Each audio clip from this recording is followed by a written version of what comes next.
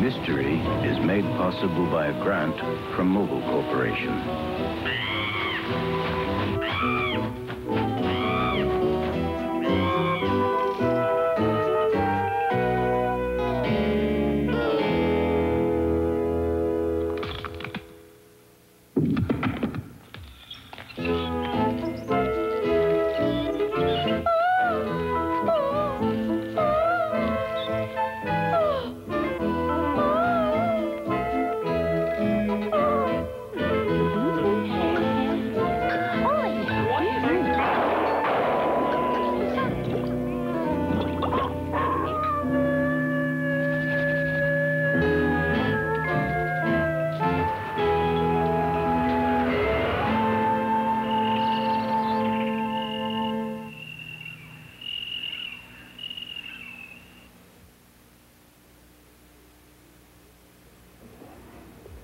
Good evening, and welcome to a very special night of mystery.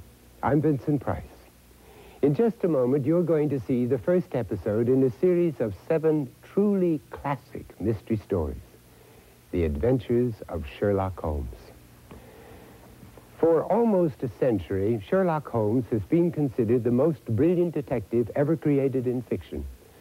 Sir Arthur Conan Doyle could have had no inkling that his Victorian consulting detective would endure and become the most revered and the most meticulously documented character in the world of mystery and crime.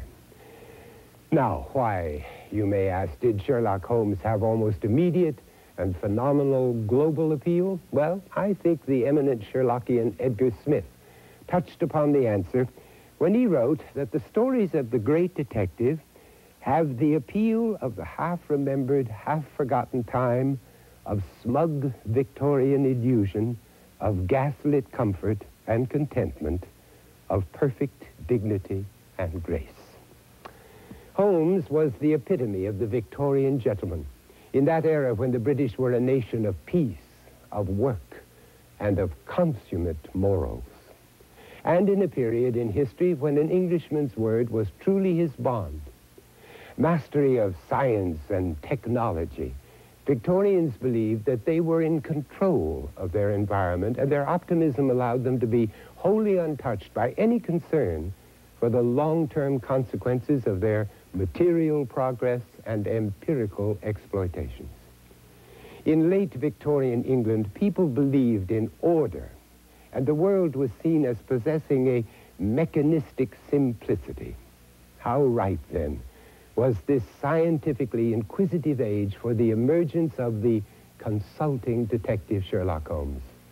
The proud Victorian principle of applied science lent itself perfectly to Holmes's scientific method of investigation, culminating in his meticulous reason by deduction. Readers continue to clamor for Holmes as much today as they ever did. Opinion polls consistently show that tonight's episode, A Scandal in Bohemia, remains the all-time favorite. Could this be because it was the first adventure to be published in the Strand magazine in July of 1891? I think it's because in this story, and in this story only, Sherlock Holmes encounters the incomparable Irene Adler.